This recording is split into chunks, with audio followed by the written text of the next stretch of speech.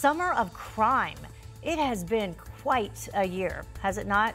Especially since it's been one year since George Floyd's death in Minneapolis sparked nationwide protests by Antifa and the Black Lives Matter organization. One year of burning, looting, and rioting. One year of calls from the left to defund the police. Take a look at this.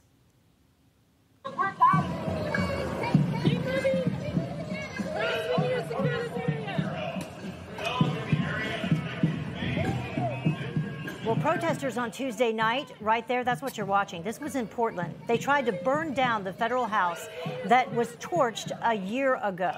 And then take a listen to this from the streets of Kansas City, Missouri on Tuesday. We're tired of getting shot and killed because we pulled up with some air. And I got a bunch of air fresheners. I'm waiting for one of them before we go. Because, baby, where I'm from, we don't give two about the police. Chicago don't get, let them kill one of ours. That's what we doing. We kill one of theirs in Chicago, baby. We, gonna knock on your door.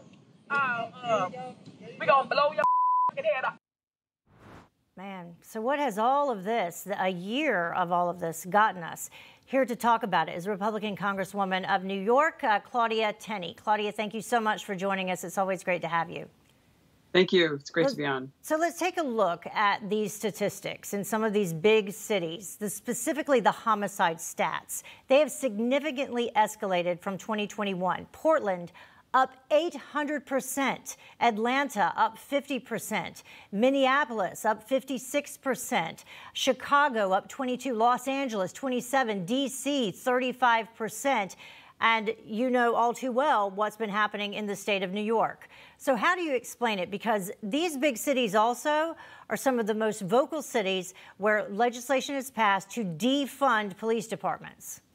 Well, it's interesting after the summer of love that mm-hmm. so many of these police departments who actually got defunded, yeah. including New York City and across uh, the nation, are now looking to refund the police and bring more money to them because of these high uh, rates of crime, shootings, homicide. New York, under Governor Cuomo, passed uh, reform bills that would eliminate cash bail, which has wreaked havoc on our local governments and on our local police departments. You know, crime is rampant, and, and the primary objective of our government is to protect us and is for public safety. And there's been this vilification of police, which is unfortunate because the statistics don't they don't talk about the 264 officers last year who were killed in the line of duty or I think over 50 at this point have now been killed this year alone.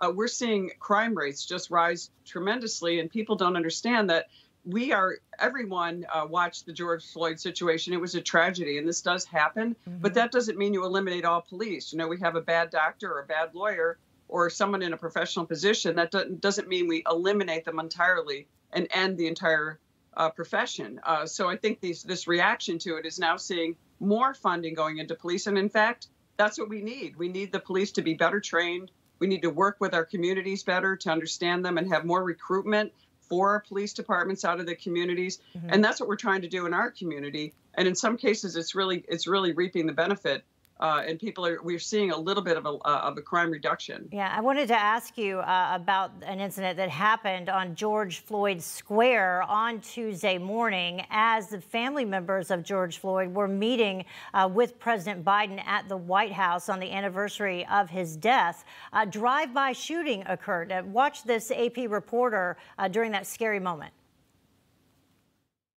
this bill of comprehensive police reform uh, to be. Uh, to just got to be careful here with some gunshots. Excuse us, excuse us.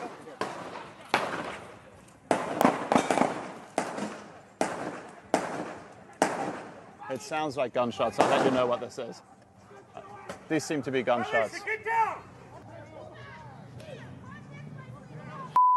Yeah. So, you know, that's in Minneapolis where we talked about the increase in crime. You mentioned um, these uh, legislators trying to bring back funding that they took away specifically in LA County, the LA County Police Department. They took away $150 million specifically. Now they're trying to rehire 250 officers to try to stop crime there. Uh, what is the answer? I mean, how do we get back to getting our police officers back on the street and being able to do the job that we need them to do? Well, the vilification of police mm-hmm. is unacceptable. In my own community, in my district, uh, there is it was a school district that actually put out a video and put out uh, curriculum that said that told children that the police weren't your friends and they hated children. And so this is a, another problem we have is these this type of rhetoric against police officers and we need to recruit more police officers and sometimes the answers especially you know the george floyd policing bill although well intentioned you know, does something to that eliminates, for example, qualified immunity, which would give some protection to police officers. And if that were to end, we would probably have no police officers willing to serve because they would be exposed to personal liability, and the trial lawyers would be feasting on them, and it would be all about the trial lawyers making money and not about protecting our communities and keeping us safe. So the solutions that have been offered are not the answer. We need to actually give more money to our police departments for better training so that they know how to handle these tough situations. It's a difficult job, it's very stressful. And I think that our police officers first deserve respect.